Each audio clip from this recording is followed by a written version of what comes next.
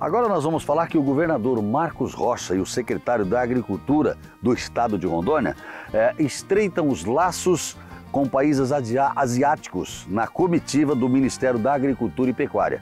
Veja a matéria.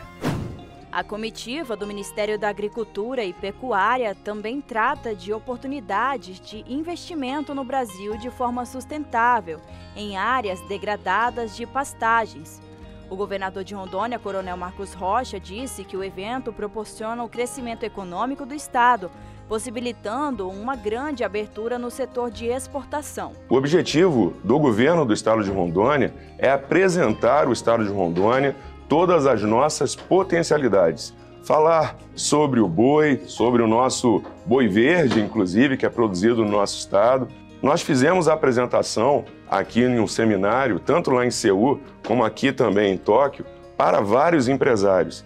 E assim a gente vai levando Rondônia para todo o mundo. O secretário Luiz Paulo ressaltou essa iniciativa do Ministério da Agricultura e o investimento na exportação de carne, citando países que já são parceiros comerciais, como a China, Chile e Estados Unidos. Apresentar Rondônia para o Brasil e agora para o mundo Aproveitando essa oportunidade, o convite feito pelo ministro Carlos Fávaro é de suma importância.